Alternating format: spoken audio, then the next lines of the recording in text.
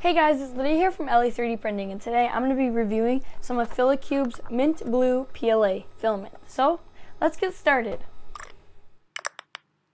Alright guys, welcome back to the channel. First of all, I just want to say Happy New Year, and I really hope you guys had a great Christmas and a great New Year's. Um, welcome to 2019, and hopefully uh, this channel will grow a lot more in this year. I'm super excited to create some more videos for you guys. Definitely a lot more filament reviews, and hopefully some new machine reviews. Um, but let's get right on to this cool filament review. So, FilaCube sent me some of their filament um, to review, but also to help me out with my arms and hand project. Uh, now, as you guys know, I did not ship anything out on or in December um, because that was just a break month. Um, and then this month, and then for the rest of the month, I will be shipping out more. So definitely, this color will be seen in uh, one of my newer months of, hands of the month videos. Um, and I'm definitely looking for that because this color is great. Um, so first, starting off with the box, they have their nice little logo up here. Um, and then they also have 3D um, printing filament, which they definitely let you know what it is. Um, they also have their uh, links on here for their URL uh, where you can purchase this, and then also their support um, email in here. So if you need any help with it, you can definitely email them. Um, on the side here, it says PLA2 uh, mint blue one kilogram, and then just a scanner. I'm not sure what PLA2 means, um, but uh, I mean, it may be different from just regular PLA, but again, it has their information here, just like it does on the front, and then uh, just some regular stuff over here on the side. Um, also on the back, there shows uh, the formula, the anti-clog, stuff like that, just a whole bunch of different um, things. So definitely read this if you purchase a box of their filament. It's actually pretty cool to read. Um, and then the bottom stuff is just my information. Um, but let's just open up the box. Again, I really do like this box, and it's not like a normal um, PLA box or any filament box that opens up like this. It just opens from the top, and you can pull it right out. So already looking at this, I do really love the color. Um, it looks really nice. This is probably one going to be one of my favorite um, favorite colors. Now, uh, this is actually this filament was uh, given to me by Tiny Machines um, 3D.com. Uh, starting off looking at the spool, it kind of looks like the PLAS or PLAS 3D uh, spools, but but in black version. Um, just a plain spool. And now there's only uh, two spots to put your filament, one here and then one on this side over here. So again, uh, with these kind of spools, the cheaper spools, there aren't really any uh, spots to put your filament when it's done. So you can either, either use tape or you can also um, use a drill to drill some new ones, but just a plain spool. Uh, so let's go ahead and open this up. It does not look like a Ziploc bag, but as you guys know, I do not store these in Ziploc bags just because I think that there's no need to, and I've had um, definitely success with not storing them in their bags. So I'm just going to open this, and then we can check out the filament roll.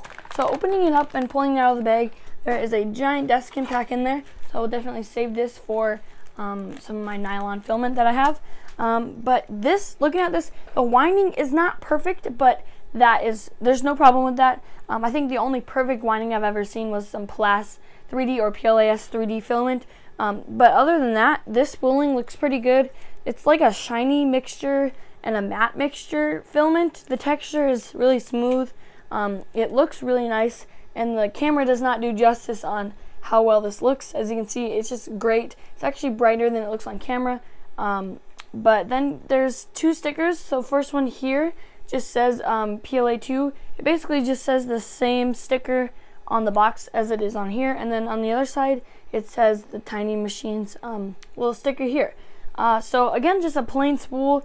The spooling looks good, and I'm really super excited to uh, print with this. I'm going to do a lot more than just my test prints, um, just because this is actually a really nice color, and I'm going to try print some accessories for my office in here. Um, but yeah, so I'll see you guys in a little bit uh, after we're done printing all these prints. Alright guys, welcome back. So I've actually only printed four prints so far, but I will um, be printing a couple more prints just to show off more of the features of this really cool filament. But first starting off, I have the two uh, strength tests uh, for this cool filament. Now, unfortunately, for some reason, uh, the print quality was a little weird on um, my printer, uh, and I don't really think it's the printer. I think it was the filament or the settings or something. But um, they are still super strong. And again, we will still be doing the normal test for these.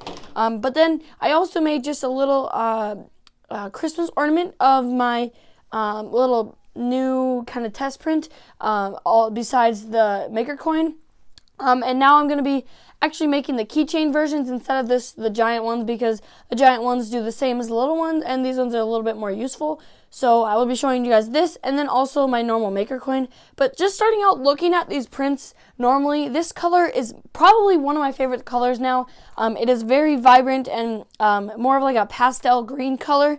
Um, but the name is a mint green and it is actually a super cool color and I definitely do recommend it just by the color and also the print quality looks really great. So uh, let's check out these prints up close and then I'll print a couple more prints off to show you guys a little bit more in detail what this filament does. So let's get right to that. Alright, so starting off with uh, this little uh, keychain or just uh, ornament. It's just a tiny little one. Now this one was not printed with support um, or a raft, which I usually print it with raft. Um, so basically just tells you how well the overhangs do on here and it did pretty good. Now as you can kind of see there are like little weird features in this filament um, in the print uh, and I don't really know if that was the filament um, or the uh, settings I had it in but the print quality is still pretty decent and it looks kind of cool to me. Um, the color again is great and I actually printed this and um, the maker coin together to also test out the stringing. Now there was a little bit of stringing, but it was super easy to clean up. I guess I just have to fix my retraction settings a little bit. But next, moving on to the maker coin, it looks really nice. Um, again, the little weird lines, it looks like there's a little bit more of over extrusion, or maybe the temperature was too hot. I did have to change it a couple times, but um, this maker coin probably looks the best out of all of them. But the top layers turned out really nice. Um, and looking at the bottom, it's a nice flat surface, um, nice and smooth. I finally got the first um, layer on the flash really nicely. Now I did not use support on this print, unfortunately, because again, these were printed together and this would have had support in it, but I definitely didn't need that. Under here, these did pretty nice um, and pretty clean without having support, which is very surprising because it is a little hard to print this in support or without support. Uh, but other than that, this maker coin turned out really cool, and I definitely do like how these look in this color. So next we have our strength test that you guys know. Um, I will actually be testing these right away in the video, and then I will be showing some other prints. Again, these have a lot of infill in them. Now I actually bumped it up to 80% infill just to see if it would be a little different than the other filament. Now I know they're two different PLAs.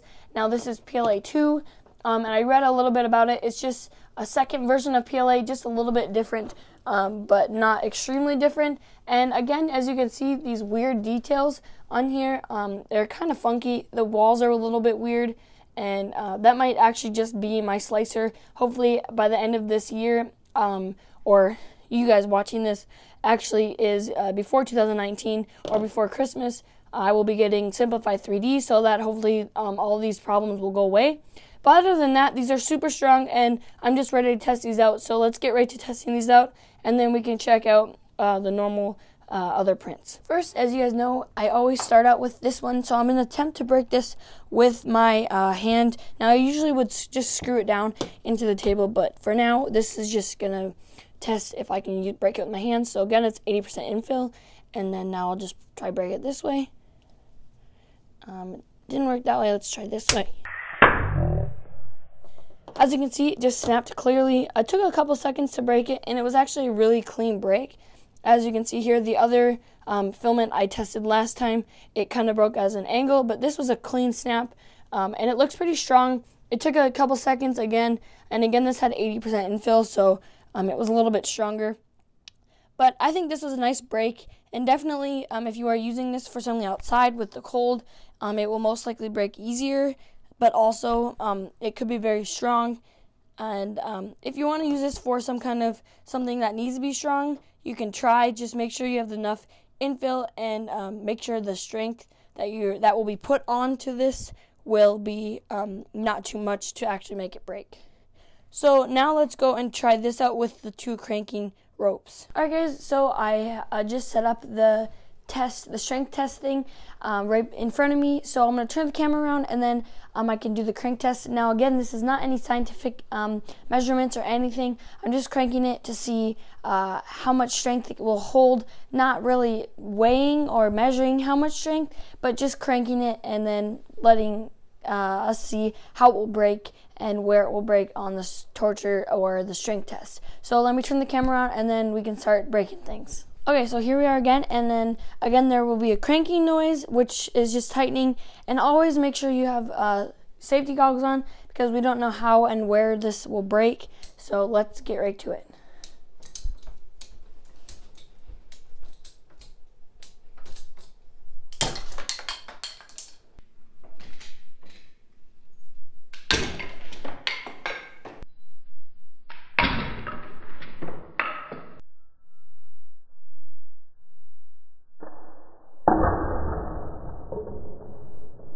Alright, so let's check out where that broke.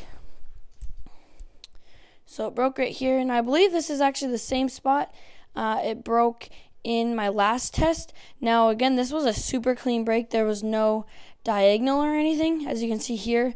And it took actually a lot longer than the other one did. A lot of strength was actually pulled from each side, and uh, definitely uh, is very strong and will hold up a lot of weight.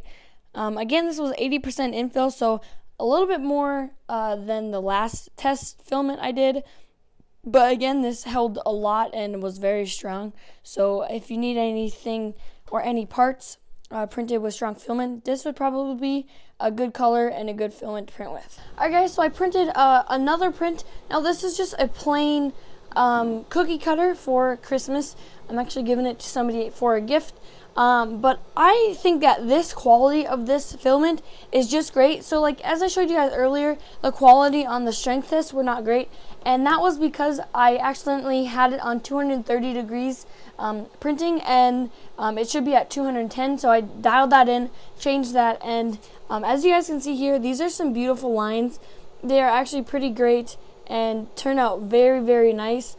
Uh, I think they they look amazing and you can barely see them. It's nice and smooth. There is no bumps or anything, and I think it looks great. So I am also printing um, some parts for my Tronxy-X1, just some replacement parts because some of them broke and uh, that is printing right over here um, on my Tevo Flash. And I'm also printing some pieces for one of my subscribers. He uh, bought a Tronxy, uh, X1 or won it. I'm not really uh, sure on where, how he got it, but he uh, contacted me on my Instagram, which you guys can do if you need any help with anything. There will be a link to it in the description below um, and also to my Twitter. But he contacted me, asked if I could make him some prints because his Tronxy X1 was his first printer, and he needed those upgrade prints um, because again, this is a DIY printer, so it's really not the greatest, and it did need some tweaking um, for the the z-axis and stuff like that. So I'm printing some out for him also, and then just a couple new ones for me. So I will uh, show those at the end of the video, and then also um, those will be the only or the last prints with this filament. Again, I did the tests and then just a couple extra ones just to see uh, how strong this filament is again and just the quality of it because it is a very very nice color and I definitely know that FilaCube makes great filament so I really recommend it already not even finished with the video but this filament is really great and definitely go buy it. It will be in the link in the description below um, definitely don't forget to go down there and click on that and buy some uh, it is really cool. So let's move on with the video and then we can finish it all up. Alright guys, welcome back. So I finished printing everything and it all looks amazing. Um, I'm not going to do any really close-ups again of what these prints look like because you will be able to see um, just with this facing camera. Um, I did print a lot. Again, I printed some um, upgrade parts for a uh, Tronxy X1 and they all turned out great. And then I also made this little spinny uh, cap thing, which was probably one of my first ever prints that I ever printed when I had my first printer. Um, and I actually printed it in ABS, so I decided to try it again and scale it up a little bit. So I did print that here. Um, and uh, I just printed some extra things. Um, again, some more upgrades. This filament is really great and looks really nice, and I will definitely be using this in my office here for maybe a pencil holder or anything. I have all my printers running right now, so if you can hear them, I do apologize for that.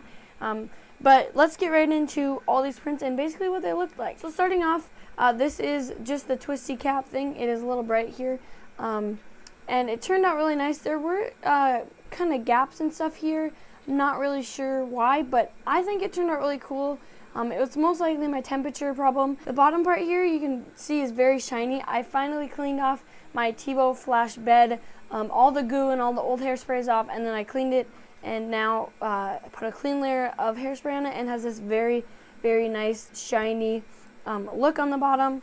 And then again, these screw together and it fits very nicely. Not really sure why the person designed it to where it doesn't go down all the way. It has a gap here and there just isn't enough space in here. But these printed like this and I finally got my retraction settings down. So there was no stringing at all, at all when they were printing like this. Um, so that is this cool little print. Next, these are just a couple of the upgrades that I made. Now these are both uh, belt tensioners. Now you can also use this on other printers like the Tronxy-X1 and I will have a link to all of these upgrades and all the prints down in the description below so you guys can go print these if you would like. And then this is a like a bed tensioner so this is where the wheels would be and um, because the Tronxy um, X1 has some weird uh, wheel problems like the bed would wiggle you just put this in there and then tighten this to separate uh, or make the um, the wheels come closer and very tight on the rails. Um, so these are very good upgrades. Again, I will be sending these to one to one of my subscribers. Um, and I think it's really cool that these colors came out, this color came out very nice with these cool little prints. So that is actually all for the prints. Um, again, I hope you guys enjoyed this video. As you can see here, I used quite a bit, or quite a lot of filament. I'm still going to actually be printing more things, more upgrades, and more cool things in my office. And I might actually post some uh, pictures on my Instagram and Twitter. Don't forget to check those links out down in the description below. Again, everything I printed here will be in the description below. Um, and I really hope you guys enjoyed this video. Um, I am really happy that I'm back to doing some uh, filament reviews, and there will be a lot more to come. Again, I still have a lot of uh, other reviews to make, and hopefully some new machines. Um, again, Happy New Year, and I hope to see you guys in the next video. Bye.